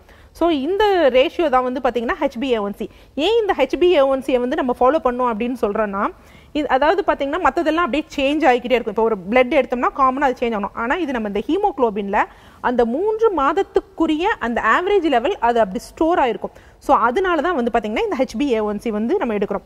ஸோ இந்த ஃபாஸ்டிங் பிபி அப்படிங்கிறது வந்து பார்த்தீங்கன்னா ஒவ்வொரு லேபுக்கும் டிஃப்ரென்ஸாக இருக்கும். சிலர் ஃபாஸ்டிங் வந்து நைன்ட்டியில் இருக்கலாம். பிபி வந்து ஒன் டுவெண்ட்டிக்கு வந்து மிகாமல் இருக்கணும் அப்படின்னு சொல்கிறாங்க பட் சிலர் வந்து என்னன்னு சொல்கிறாங்கன்னா ஒரு ஒன் ஒரு டயபெட்டிக் பேஷண்ட்னா ஒரு ஒன் ஃபிஃப்டி வரைக்கும் பிபி இருக்கலாம் அப்படிங்கிறது வந்து சொல்கிறாங்க இந்த மாதிரி ஐயா இன்னொரு விஷயம் கடைசியாக கேட்டிருந்தாரு. இந்த ஃபாஸ்டிங் பிபி நார்மலாக இருக்குது இந்த ஹெச்பிஎம் வந்து அதிகமாக இருக்குது அப்படிங்கிறாங்க. அப்போ அங்கேயே யோசிக்கணும். ஸோ வே மே வேணும்னா அவர் வந்து பார்த்திங்கன்னா அதை எக்ஸ்பீரியன்ஸ் பண்ணியிருக்கலாம் ஆனால் பலருக்கு இந்த நிலைமை தான் இருக்குது அதற்கு காரணம் என்னன்னா நான் முன்னாடி சொன்ன மாதிரி தான் நீங்கள் எடுக்கக்கூடிய பாரம்பரிய மருந்துகளை தவிர ஏனைய மருத்துவ முறைகள் வந்து அப்படின்னா என்னென்னா அந்த இரண்டு மணி நேரம் வந்து பார்த்தீங்கன்னா அது விண்டோ பீரியட் அப்படின்னு சொல்லுவாங்க. அந்த மருந்துகளோடதே அப்படிதான். இட் அது பிளட்ல வந்து ஒரு ரெண்டு மணி நேரம் தான் ஆக்ட் பண்ணும். ஸோ அந்த நேரத்தில் மட்டும் அது அந்த பிளட்ல அந்த சுகர் லெவலை வந்து அப்சர்வ் பண்ண விடாது. அப்போ வந்து என்னன்னா அந்த குறிப்பிட்ட நேரம் கழித்து இன்சுலின்ங்கிறது அவங்களுக்கு ஸ்லோவாக தான் ஆக்ட் ஆகும். நான் முன்னாடி சொன்ன மாதிரி ஒரு பத்து வயது குழந்தை நாற்பது வயது எழுபது வயது இவங்க மூணு பேருக்கு வந்து ஒரே மாதிரி இருக்காது. இவங்களுக்கு டக்குன்னு ரெஸ்பான்ஸ் பண்ணும். இவங்களுக்கு கொஞ்சம் டிலே ஆகும். அதனால தான் உங்களுக்கு டயபெட்டிக் வருது. ஸோ அந்த ஒரு டூ ஹவர்ஸ் கழிச்சு என்ன ஆகும் அப்படின்னா இன்சுலின் செக்ரீஷன் கொஞ்சம் எட்டிப்பாகும். ஸோ அது வந்து செக்ரீட் ஆகி அந்த ரத்தத்துக்கு வர்றப்ப அதுக்கு தேவைப்படக்கூடிய குளுக்கோஸ் வந்து பிளட்ல வந்து இருக்காது. ஸோ அது வந்து என்ன செய்யும்? ஐயோ நமக்கு குளுக்கோஸே பிளட்டில் இல்லை. ஏன்னா குளுக்கோஸுங்கிறது ரொம்ப முக்கியமான விஷயம். அது தவிர்க்கப்பட வேண்டிய விஷயம் கிடையாது. ஏன்னா செல்கள்லாம் நல்லா வேலை செய்யணும்னா அதுக்கு குளுக்கோஸ் வந்து ஒரு எனர்ஜி ஒரு தேவை. ஸோ அப்போ அது பிரெயினுக்கு வந்து சிக்னல் அனுப்பும். இங்கே குளுக்கோஸ் வந்து இல்லை. அப்போ என்ன பண்ணணும்? நீ சாப்பிடணும். சாப்பிடணும்னா சும்மா சாப்பிடுன்னு நம்மக்கிட்ட சொன்னால் புரியாது. அதனால ஒரு பசி பதற்றம் ஒரு படபடப்பு அந்த மாதிரி வர்றப்ப நம்ம என்ன செய்வோம்? சாப்பிடுவோம். உடனே என்ன செய்வோம்? நிற- நிறையவே சாப்பிடுவோம். இருக்கிறத விட அதிகமாக சாப்பிடுவோம். எப்போ வந்து நமக்கு அந்த பதட்டம் இது பண்ணோம்னா தேவையான சக்கரை நம்ம உடம்புக்கு போனால் தான் வரும். ஸோ அப்போ நம்ம அதை போட்டுறோம் பார்த்தீங்களா ஆனால் அது அப்போ அந்த சாப்பிட்ட அந்த சர்க்கரையை செரிமானப்படுத்த மாத்திரைகள் மருந்துகள் சாப்பிடுறோம்னா கிடையவே கிடையாது. ஸோ அப்போ என்னென்னா அது பிளட்டில் அந்த சுகர் லெவலை ஏற்றிக்கிட்டே போகும். ஸோ அதனால தான் வந்து என்ன இந்த ஃபாஸ்டிங் பிபியை நம்ம டிபெண்ட் பண்ணாமல் ஹெச்பிஏஒன்சியை டிபெண்ட் பண்ணணும்னு சொன்னார். ஸோ மருந்துகள் அப்படிங்கிறது வந்து எல்லாருக்கும் ஒரே மாதிரி இருக்காது.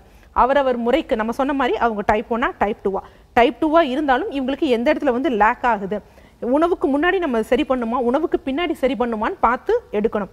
ஆனால் உணவு முறைங்கிறது எல்லாரும் எல்லோருக்கும் வந்து ஒன்று தான் என்ன உணவு உணவு முறை என்ன அப்படின்னா இதுக்காக ஸ்பெசிஃபிக்காக பார்த்து எடுக்கணும்னு கிடையாது. ஏன்னா நிறைய பேர் சொல்கிறாங்க சிறுதானியம் சாப்பிட்டா வந்து பார்த்தீங்கன்னா சுகர் ஏறாது. இதை விட மோசமான ஒரு விஷயம்னா சுகர் வந்து சரியாயிடும் அதே மாதிரி நாட்டு சக்கரை சாப்பிட்டா வந்து சுகர் வந்து ஏறாது. அப்படியெல்லாம் கிடையாது. நாட்டு சக்கரையும் இந்த வெள்ளை சக்கரைன்னு சொல்லக்கூடிய அஷ்கா சக்கரை ரெண்டுமே ஒரே கிளைசிமிக் இண்டெக்ஸ் தான். ரெண்டுக்கும் ஒரு வித்தியாசம் மெயின் என்ன அப்படின்னா இது வந்து பார்த்திங்கன்னா கெமிக்கல் சார்ந்த ஒரு- ஒரு விஷயம்.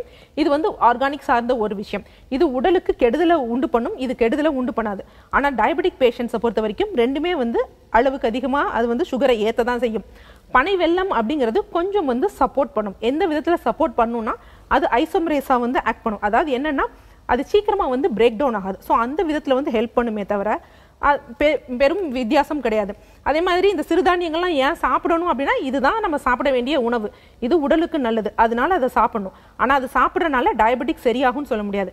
ஸோ எல்லோருமே என்னன்னா இன்றைக்கி உட்காந்துட்டு இருக்க மாதிரியே நம்ம பண்ணிட்டு இருக்கோம். ஸோ அந்த மாதிரி இல்லாமல் வாரம் ஒரு இரண்டரை மணி நேரமாவது ஏன்னா இன்றைக்கி தனியாக தான் நம்ம ஒரு ஃபிசிக்கல் ஆக்டிவிட்டின்னு போக வேண்டியிருக்கு. அந்த இரண்டரை மணி நேரம் நம்ம உடலுக்கு உடற்பயிற்சி கொடுக்கணும். வயிற்று பகுதிக்கு உடற்பயிற்சி கொடுக்கணும். அந்த மாதிரி பண்ணி செயற்கை உணவுக்கு போகாம இயற்கை உணவுக்கு போனோம்னாலே நம்ம டயபெட்டிக்ல இருந்து வெளிவந்துடலாம் மருந்து அப்படிங்கிறது மருத்துவரை சார்ந்து நம்ம கேட்கக்கூடிய ஒரு விஷயம். நன்றி. நன்றி சார் கால் பண்ணதுக்கு. அடுத்த அழைப்பாளர் இணைப்புல இருக்காங்க. ஹலோ ஹலோ குட் மார்னிங் நீங்க லைன்ல தான் இருக்கீங்க. பேசலாம் அது டாக்டர் ஆன் கால் வணக்கம் மேடம் சிதம்பரத்துல இருந்து பேசுறேன். ஓகே சார் உங்க பேர் என்ன? என் பேர் நடராஜன். இப்போ யாருக்காக நடராஜன் கேட்டு தெரிஞ்சுக்க போறீங்க? எனக்கு மேடம் எனக்கு ஒரு ஒன் மந்தா நெஞ்சு குழியில மட்டும் வலி இருந்துகிட்டே இருக்கு. ஓகே உங்க வயசு என்ன sir forty two okay doctor இணைப்பில் தான் சார் இருக்காங்க. பேசலாம். வணக்கம். வணக்கம் மேடம் வணக்கம் நடராஜன் சார் சொல்லுங்க. நெஞ்சு குழியில மட்டும் வலி நிக்கவே மாட்டேங்குது மேடம் ஒரு மாசமா? நீங்க நெஞ்சு குழின்னு சொல்றது எப்படி வயிற்று பகுதியில மேலா இல்ல மார்பு பகுதியில நடுப்பகுதியில வலி இருக்குதா? மார்பு பகுதியில நடுப்பகுதியில மேடம் வலி அதிகமாகி டாக்டர்கிட்ட போற மாதிரி ஆயிடுது அந்த டைம்ல எந்த நேரத்துல வலிகள்? இரவு நேரத்துல தான் வலிகள் அதிகமா இருக்கா? இரவு நேரத்துல தான் மேடம் அதிகமா வருது. ஓகே இரவு உணவு எத்தனை மணிக்கு எடுத்துக்கிறீங்க? நான் ஒன்பது மணிக்குள்ள எடுத்துருவேன். ஒன்பது மணிக்குள்ள எடுத்துறீங்க. என்ன சாப்பிடுறீங்க? நான் இட்லி தோசை அப்படிதான் டிஃபன் சைட்டு தான் சாப்பிடுவேன். ஓகே ஏற்கனவே ஹார்ட்லாம் செக் பண்ணிட்டேன் ஹார்ட் நார்மலா தான் இருக்குன்னு சொல்றாங்க. ஆனாலும் எனக்கு வலி நிக்க மாட்டேங்குது. இசிஜி பாத்தீங்களா? எக்கோ பாத்தீங்களா? இசிஜி இசிஜி எக்கோ டிஎம்டி எல்லாமே செக் பண்ணிட்டேன் மேடம் எல்லாம் நார்மலா தான் இருக்கு. மலச்சிக்கல் இருக்கா? மலச்சிக்கல் இல்ல மேடம் ஓரளவு நார்மலா தான் இருக்கு. ஆனா இப்ப எண்டோஸ்கோபி எடுக்கணும்ன்றாங்க. கொரோனாவெல்லாம் எங்கேயும் எடுக்க மாட்டாங்க ஓகே ஸோ நீங்க சொல்ற மாதிரி டிஎம்டி ட்ரெட்மில் டெஸ்ட் அதுக்கப்புறம் எக்கோ இசிஜி இதெல்லாம் நார்மலா இருக்கு அப்படின்னா மோஸ்ட் ப்ராப்ளி இருதயம் சார்ந்த பிரச்சனைகள் இருப்பதற்கு வாய்ப்புகள் வந்து கிடையாது. இது என்னன்னா ஃபுட் பைப்புன்னு சொல்லுவாங்க. தொண்டைக்கும் வயிற்று பகுதிக்கும் நடு நடுவில் இருக்கக்கூடிய உணவு குழாய் இருக்குது பார்த்தீங்களா அதில் வந்து புண்கள் வந்து ஏற்பட்டிருக்கலாம். ஸோ அந்த புண்கள் ஏற்படுறனால வரக்கூடிய அந்த குத்தல் வலி என்ன ஆகும் அப்படின்னு பார்த்தீங்கன்னா இடது பக்கம் மார்பு பகுதிக்கு வந்து கொஞ்சம் டிரான்ஸ்மிட் ஆகும். ஸோ அது பார்ப்பதற்கு வந்து என்ன அப்படின்னு பார்த்தீங்கன்னா நெஞ்சு வலியாட்டம் இருக்கும். ஸோ நீங்கள் இப்பொழுதைக்கு நீங்கள் சொல்கிற மாதிரி எண்டோஸ்கோப்பி போடக்கூடிய சூழ்நிலை வந்து கிடையாது. நைட் வந்து ரொம்ப லேட்டாக வந்து சாப்பிடாதீங்க. மோஸ்ட் ப்ராப்ளி இரவு வந்து சமைத்த உணவை வந்து அவாய்ட் பண்ணிட்டு பழங்கள் அந்த மாதிரி விஷயங்கள் எடுத்துக்கோங்க. காலையில் வந்து பார்த்தீங்கன்னா நீராகாரம் வந்து எடுத்துக்கோங்க. இது ரெண்டும் நீங்கள் பேலன்ஸ் பண்ணுங்க. உணவுல வந்து பார்த்தீங்கன்னா பச்சை மிளகாய் இதை அவாய்ட் பண்ணுங்க. இந்த பெப்சி கோக் இந்த மாதிரி சாப்பிட்ற பழக்கம் அந்த மேற்கத்திய உணவு நாகரிகம் ஃபாலோ பண்ணாம நம்ம பாரம்பரிய உணவை ஃபாலோ பண்ணீங்கனாலே மோஸ்ட் ப்ராப்ளி இந்த இது உங்களுக்கு ரிவர்ஸ் ஆயிடும். நிகழ்ச்சியோட அடுத்த அழைப்பாளர் இணைப்புல இருக்காங்க. ஹலோ ஹலோ குட் மார்னிங் சொல்லுங்கம்மா உங்க பேர் என்ன? மேம் என்னுடைய பேர் கவிதா. எங்க இருந்து கால் பண்றீங்க மேம் மேம் ஈரோடுல இருந்து நாங்க கூப்பிடுறோம் மேம் ஓகே உங்க எனக்கு வந்து இந்த மேம் ஒரு சில டவுட் கேட்கணும். நிச்சயமா கேட்கலாமா? டாக்டர் இணைப்பில் தான் இருக்காங்க. ஆ மேம் வணக்கம் எனக்கு உங்க? எனக்கு நாற்பது வயசு ஆகுது ஓகே அப்புறம் இந்த கண் எரிச்சல் இருக்கு மேம் எப்பொழுதும். ஓகே அப்புறம் கண் எரிச்சல் கண்ணு குத்தல். டாக்டர்கிட்ட போனா கண்ணுல எதுவும் ப்ராப்ளம் இருக்கிற மாதிரி தெரியல. ஓகே அப்புறம் மோஷன் ப்ராப்ளம் கண்டினியூஸா மோஷன் ப்ராப்ளம் மேம் எனக்கு. ஓகே மோஷன் நானும் டேப்லெட்ஸுங்க அது இது இந்த ஜீரக தண்ணி அந்த மாதிரி எல்லாம் நிறைய சாப்பிட்டு பார்த்தாலும் அந்த மோஷன் ப்ராப்ளம் எனக்கு கிளியர் ஆகுறதே இல்ல. ஓகே சேம் என்னோட குழந்தைங்களுக்கும் அந்த ப்ராப்ளம் இருக்கு மேம் ஓகே என்னோட பசங்களுக்கும் அதே மோஷன் ப்ராப்ளம் ரெண்டு நாளைக்கு ஒருக்கா மூணு நாளைக்கு ஒருக்கா தான் மோஷன் போகுது. அவங்களுக்கும் மெடிசன்ஸ் ஏதாவது வாங்கி கொடுத்துட்டு அந்த மாதிரி போயிட்டு இருக்கு எதனாலன்னு எனக்கு ஒரு டைம் வந்து எனக்கு எண்டோஸ்கோபி பண்ணி பார்க்க சொல்லியிருக்காங்க. நான் இன்னும் வாங்க பார்க்கலாம் உங்களுக்கு வந்து இப்ப ரத்த குறைவு ஹீமோகுளோபின் கம்மியா இருக்கிறதுனால தான் இந்த மாதிரி ப்ராப்ளம் எல்லாம் வரும். க- கண்ணு எரிச்சல் நீங்க சொல்ற சிம்டம்ஸ் எல்லாம் பார்க்கும்போது ஹீமோகுளோபின் கம்மியா இருக்கிற மாதிரி தெரியுதுன்னு ஒரு சில டானிக் எல்லாம் கொடுத்தாங்க. அதையே சாப்பிட்டுட்டு இருக்கேன். சோ இந்த மோ அதை சாப்பிட்டுட்டு எண்டோஸ்கோபி பண்ணலான்றதுக்குள்ள நமக்கு இந்த மாதிரி இந்த பிரச்சனைகளை வந்து ஹாஸ்பிட்டல் போக முடியாத ஒரு சுச்சுவேஷன் கொரோனா பிரச்சனைனால. இது இந்த மோஷன் ப்ராப்ளம் வீட்லயே நம்ம கிளியர் பண்ணலாமா குழந்தைங்க நமக்கெல்லாம் கிளியர் பண்ணலாம். வேற எந்த ப்ராப்ளமும் எனக்கு இல்ல மோஷன் ப்ராப்ளம் கண் எரிச்சல் கண்ணு குத்தல் மேம் தைராய்டு இருக்காமா? எனக்கு எனக்கு மேம் தைராய்டெல்லாம் இது வெறும் செக் பண்ணல மேம் அந்த மாதிரி ப்ராப்ளம் இருக்க மாதிரி எனக்கு தெரியல. சுகர் பிரச்சனையும் இருக்கிற மாதிரி எனக்கு தெரியலங்க மேம் ஓகேம்மா அதாவதுமா மலச்சிக்கல் அப்படிங்கிறது வந்து ஒரு நோய் கிடையாது. ஒரு குறிகுணம். ஏதோ ஒரு பிரச்சனைகள் இருக்கிறதுனால மலம் வந்து சரியா கழியல அப்படிங்கிறது தான் வந்து பாத்தீங்கன்னா அந்த மலச்சிக்கல்ங்கிறது ஒரு குறிகுணம். உங்க ஃபேமிலியில எல்லாருக்குமே இருக்கு அப்படின்னா அப்ப நீங்க எடுக்கக்கூடிய உணவுகள்ல வந்து போதுமான நார்ச்சத்து இல்லை அப்படிங்கிறது வந்து ஒரு விஷயம். சரியா? அடுத்த விஷயம் என்ன அப்படின்னு பார்த்தீங்கன்னா உணவுக்கு சமைக்கக்கூடிய எண்ணெய்கள் ரொம்ப முக்கியமான விஷயம். ரீஃபைண்ட் ஆயிலெலாம் யூஸ் பண்ணிங்கன்னா தயவு செய்து அதை ஒதுக்கி வச்சுட்டு இனிமேல் நல்லெண்ணெய் தேங்காய் எண்ணெய் நெய் அதே வந்து எடுத்துக்கோங்க. ஒரு பிரச்சனையும் கிடையாது. இன்னொரு விஷயம் என்ன அப்படின்னு பார்த்தீங்கன்னா இந்த அதாவது எண் வகை தேர்வு அப்படின்னு இருக்கும். இன்னொரு விஷயம் அகத்தின் அழகு முகத்தில் தெரியும் அப்படின்னு வந்து சொல்லுவாங்க. அகம் அப்படிங்கிறது நம்ம உடலுக்குள்ள உள் உறுப்புகள். ஸோ அது வந்து நம்ம டக்குன்னு வந்து நம்ம பார்க்க முடியாது. அது வந்து முகத்தில் தெரியும். சப்போஸ் நுரையீரலில் ஏதாவது பிரச்சனைகள்னா அது மூக்கின் வழியாக வந்து வெளிப்படும். வயிற்றில் ஏதாவது பிரச்சனைனா வாயில் வந்து புண்களாக வந்து வெளிப்படும். கிட்னியில் ஏதாவது பிரச்சனைனா காதுகளில் வந்து தெரியும். அவங்களுக்கு வந்து காதில் வந்து பார்த்திங்கன்னா ஒரு கடல் ஒலி இரைச்சல் இந்த மாதிரி காது வலி இந்த மாதிரி பிரச்சனை ஏற்படும். அது போலதான் கல்லீரலில் ஏதாவது பிரச்சனைகள் இருந்தது அப்படின்னா அது கண்களில் வெளிப்படும். சிலருக்கு கண் ஏன் வந்து மஞ்சக்காமாலையில வந்து கண்கள் மஞ்சள் ஆகுதுன்னா இதுக்கும் அதுக்கும் ரிலேஷன் இருக்குது ஸோ அப்போ அந்த கல்லீரல் வந்து அதோட எனர்ஜி லெவல் வந்து லிவரோட எனர்ஜி லெவல் கம்மி ஆகிறப்ப என்ன ஆகும் அப்படின்னா என்ன காரணம்? பித்தம் வந்து ஜாஸ்தியாக இருக்கும் ஸோ பித்தம் ஜாஸ்தியாக இருக்கப்போ உடல் வந்து உஷ்ணம் அதிகமாகும். உடல் உஷ்ணம் அதிகமாகுதுன்னா என்ன விஷயம்? அங்கே மெட்டபாலிசம் வந்து சரியாக நடக்கலை. மெட்டபாலிசத்தோட அவுட் ப்ராடக்ட் வந்து என்ன அப்படின்னு பார்த்தீங்கன்னா ஹீட் உஷ்ணம். ஸோ அதனால தான் வந்து பார்த்தீங்கன்னா கண்களில் ஒரு மாதிரி எரிச்சல் இந்த குத்தல் இந்த மாதிரி பிரச்சனைகள் இருக்கு. அதே மாதிரி என்ன அப்படின்னு பார்த்தீங்கன்னா இந்த கல்லீரலுக்கும் உங்களுக்குரிய அந்த மலச்சிக்கலுக்கும் என்ன வி- தொடர்பு அப்படின்னா எப்படி இந்த உஷ்ணம் அதிகமாகுதோ அதே மாதிரி ஆசனவாய் பகுதிகளிலும் உஷ்ணம் வந்து அதிகமாகும். அங்கே ரத்தம் வந்து சீறி வந்து பாயும். எதுக்காகனா அந்த உஷ்ணத்தை குறைச்சி அங்கே குளிர்ச்சி பண்ணி மலத்தை வெளியே தள்ளணும் தான்.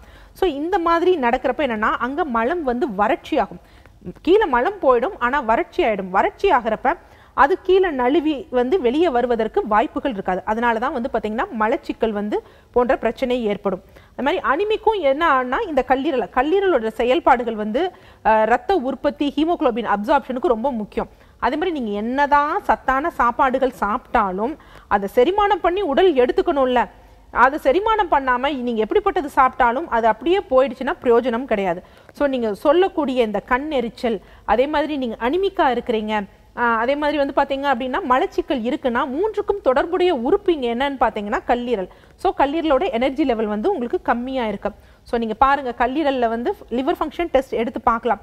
அதில் ஏதாவது என்சைம்ஸ் அதாவது அந்த செரிமானப்படுத்தக்கூடிய இதில் வந்து குறைபாடுகள் இருக்கா? இல்லை பிலிருபின்ல ஏதாவது பிரச்சனைகள் இருக்கா?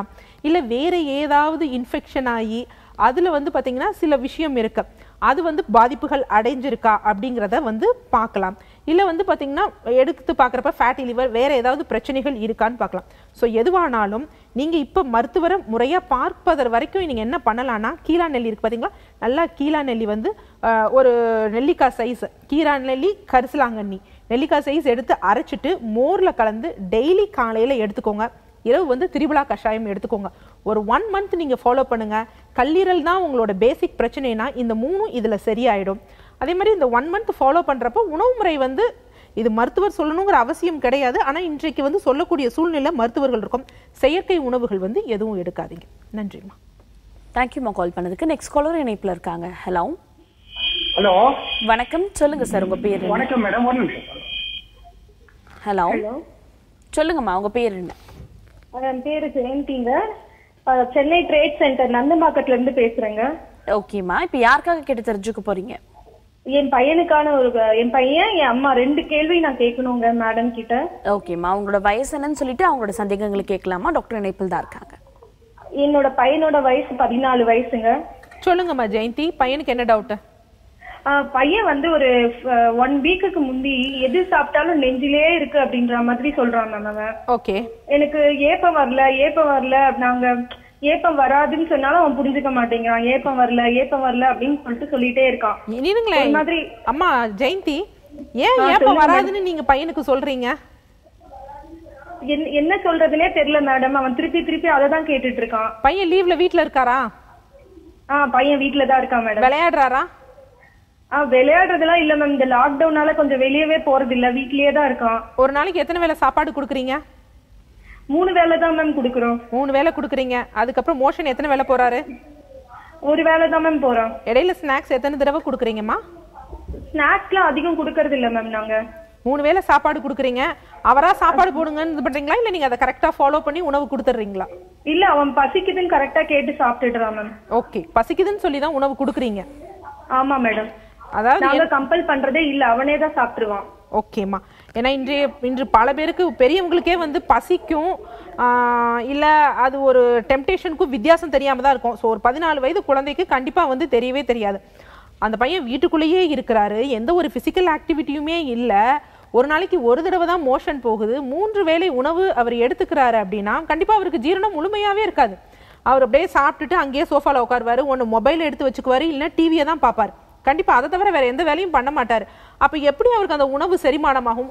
அவர் வந்து ஏன் ஏப்பம் வரமாட்டேங்குது அப்படின்னு சொல்கிறாருன்னா அவரோட எக்ஸ்பெக்டேஷன் ஒரு இங்கே ஒரு ஏப்பம் மாதிரி ஒன்று வந்துச்சு அப்படின்னா கொஞ்சம் ஃப்ரீ ஆகும் அப்படின்னு. பட் அந்த ஏப்பம் வந்து வரமாட்டேங்குது. அதுதான் பிரச்சனையே தவிர வேறு ஒன்றும் கிடையாது. ஏப்பம் வரணும். ஏப்பம் வந்தால் தான் வந்து பார்த்தீங்கன்னா அது முழுமையாக ஆனால் அது தொடர் ஏப்பமாக இருக்கக்கூடாது. தொடர் ஏப்பம் இருந்ததுன்னா அடுத்து செகண்டரி ஸ்டேஜ் வயிற்றில் வந்து புண்கள் ஏற்படுது அப்படிங்கிறது அர்த்தம். ஸோ அதனால் என்ன அப்படின்னு பார்த்தீங்கன்னா பசிச்சதுன்னு சொன்னார்னா சாப்பாடு கொடுங்க. அது கூட என்ன அப்படின்னா கொஞ்சம் பசிக்க ஏன்னா அதான் சொல்லல பசிங்கிறது இன்றைய பல குழந்தைகளுக்கு தெரியறது இல்லை ஏன்னா அந்த மாதிரி நம்ம வந்து மைண்ட் செட்டாக நம்ம சர்க்காடியல் இருதத்தையே நம்ம அப்படியே ஸ்விட்ச் பண்ணி வச்சிட்டோம். காலையில் ஏழரை மணி எட்டு மணிக்குள்ளே சாப்பிடணும். மதியம் பன்னெண்டுலேருந்து ரெண்டு மணிக்குள்ளே சாப்பிடணும். பசிச்சாலும் படிக்கல பசிக்கலைனாலும் நைட்டு சாப்பிடணும் அப்படின்னு. ஸோ அந்த பசி எடுக்குதுன்னு சொல்கிறாரு பார்த்தீங்களா அப்போ ஒரு டம்ளர் தண்ணி குடிக்கட்டும். தண்ணி குடித்தா என்னப்பா உனக்கு சாட்டிஸ்ஃபையாக இருக்கான்னு கேளுங்க.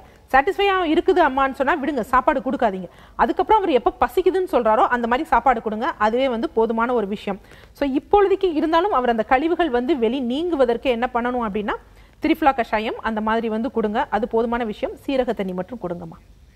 ஓகே நன்றி கால் பண்ணதுக்கு. அடுத்த அழைப்பாளர் இணைப்பில் இருக்காங்க. ஹலோ வணக்கம்மா சொல்லுங்க உங்க பேர் என்ன?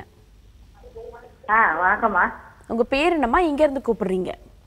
விருதுநகர் விருதுநகர் மாவட்டம். ஓகேம்மா உங்களோட பெயர் என்ன?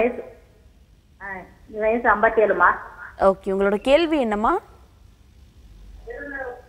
வணக்கம்மா. என் பேரு ராமகீதா வயசு ஐம்பத்தி ஏழு சொல்லுங்கம்மா சொல்லுங்க என்ன டவுட் ஏம்மா எனக்கு பத்து வருஷத்துக்கு முன்னாடி சிக்கன் குனியா வந்ததுல இருந்து ரிமாட்டாய்டு மாதிரி இருக்குதுமா ஓகேம்மா.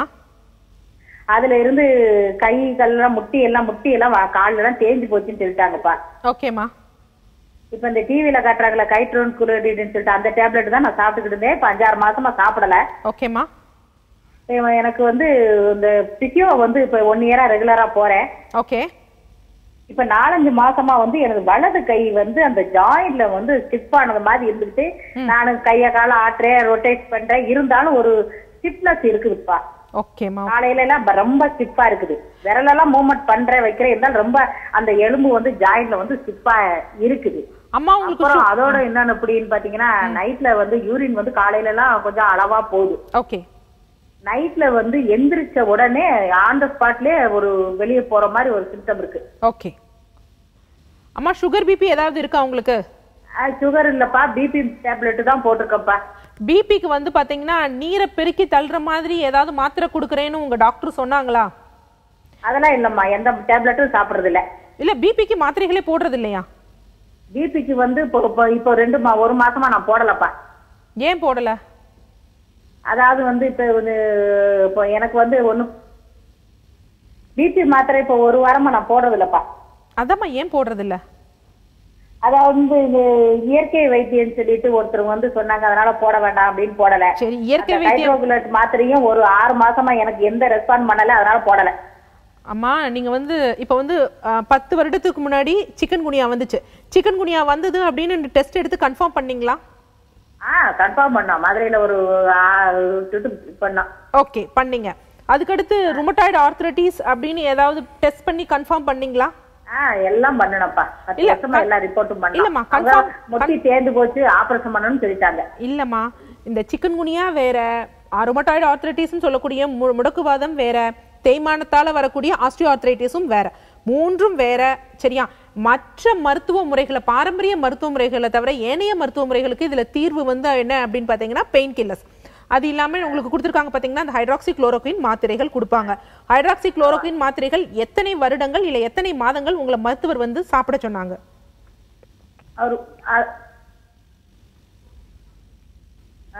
எத்தனை வரு எவ்வளவு காலம் சாப்பிட சொன்னாங்கம்மா? அதாவது ஒரு டெய்லி காலையில காலையில ஒரு மாத்திரைப்பா கிட்டத்தட்ட மூணு வருஷமா சாப்பிட்டேன். ரெண்டு மாசத்துக்கு ஒருக்க போய் டாக்டர்கிட்ட போய் செக்அப் பண்ணி பிளட் டெஸ்ட் எல்லாம் பார்த்து தான் சாப்பிட்டேன். Okay okay. மூன்று வருடம் கழிச்சு மூன்று வருடம் சாப்பிட சொன்னாங்க. நீங்க அதை தாண்டி எவ்வளவு காலம் சாப்பிட்டீங்க? இப்ப மூணு மாசத்துக்கு ஒருக்க வர வரும்போது வந்து அந்த டெஸ்ட் பண்ணி டெஸ்ட் பார்த்து ரிமாட்டாய்டு உங்களுக்கு இல்ல. அப்படின்னு வந்துட்டாங்க. ஓகே. ஓகேம்மா. இப்போ ஆரே உங்களுக்கு இல்ல. ஆமா அப்ப ஆரியா இல்லைன்னு சொல்லி தான் இருந்தது. முதல்ல வந்து இடது கால்ல இருந்துச்சு இப்ப வலது காலுக்கு தேய்மானம் வந்துருச்சு எனக்கு. சரிம்மா நிகழ்ச்சியை தொடர்ந்து கவனிங்க. கண்டிப்பா உங்க எல்லா சந்தேகத்துக்கும் வந்து விளக்கம் கொடுக்குறேன். அதாவது அம்மா நீங்க என்ன சொல்றீங்க அப்படின்னா ஃபர்ஸ்ட் வந்து உங்களுக்கு சிக்கன் குனியா வந்திருக்கு. ஸோ சிக்கன் குனியா வந்ததை தொடர்ந்து வந்து பாத்தீங்கன்னா முடக்குவாதம் வந்துச்சா அப்படின்னு கிடையாது. அதுவும் வந்து உங்களுக்கு அது ஒரு ஆட்டோ இம்யூன் டிசார்டர் ஸோ அது வந்து வந்திருக்கலாம். இல்ல உங்களுக்கு முறையா தெரிவிக்க தெரியலையா அப்படின்னு தெரியல. ஸோ அதற்கு ஹைட்ராக்சி குளோரோக்வின் மருத்து சில மருத்துவ மருத்துவ முறைகளில் கொடுக்குறாங்க.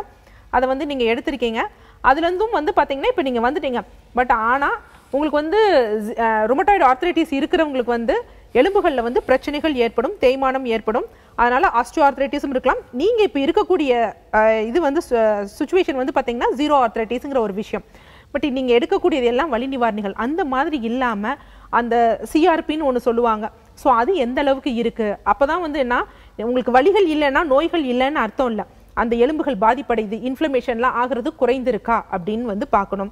அது மாதிரி பிபிக்கு எந்த மருத்துவ முறைகள் வேணுமா அது எடுத்துக்கலாம் பிபி ஏற்படுவதற்கு நிறைய காரணங்கள் இருக்கு. ஆனால் இதுவும் இல்லாமல் அதுவும் இல்லாமல் நீங்களா நிறுத்தி வச்சுட்டு ஒரு இது பண்ணீங்கன்னா கண்டிப்பாக ஐம்பத்தேழு வயதில் வந்து பாதிப்புகள் ஏற்படும். இயற்கை மருத்துவ முறை எடுக்கிறீங்களா? உங்கள் மருத்துவர்கிட்ட முறையாக கேட்டுட்டு என் பிபி இதனால சரியா இருக்கா? அதாவது நீங்கள் வந்து ஒன் டுவெண்ட்டி எயிட்டி இருக்கணுங்கிற அவசியம் இல்லை. ஒரு ஒன் ஃபார்ட்டி கீழே ஒரு ஒன் நைன்ட்டி அந்த மாதிரியாவது இருக்கணும். அதை தாண்டி போச்சுன்னா பிரச்சனைகள் வந்து ஏற்படும். இல்லை இது எனக்கு இதாகலைன்னா அந்த மருத்துவர்கிட்ட போயாவது முறையாக இது பண்ணிக்கோங்க. ஏன்னா பிபி ஜாஸ்தியாகணும் அதன் அதன் மூலம் ஏற்கக்கூடிய காம்ப்ளிகேஷன்ஸ்கள் டக்குன்னு ஒரு ஸ்ட்ரோக் எந்த பிரச்சனையும் வரக்கூடாது. ஸோ நீங்கள் மருத்துவ முறைகள் முறையாக போனீங்கன்னா எந்த பிரச்சனையும் இருக்காதுமா நன்றி. நன்றிம்மா கால் பண்ணதுக்கு. டாக்டர் இந்த ஒன் ஹவர்ஸ்ல ஆரோக்கியம் சார்ந்த எல்லா கேள்விக்குமே தெளிவாக பதிலளிச்சுங்க. நன்றி. நன்றி. நீங்களும் வீட்டில் இருந்தபடி ஆரோக்கியம் சார்ந்த கேள்விகள்லாம் கேட்டு தெரிஞ்சிட்ருப்பீங்க இதே போல் நாளைக்கும் வேறு டாக்டரோடு உங்களை சந்திக்கிறேன். அண்டர்லன் கட்டி காட்டலிங் பாய் ஃப்ரம் யூ ஆல்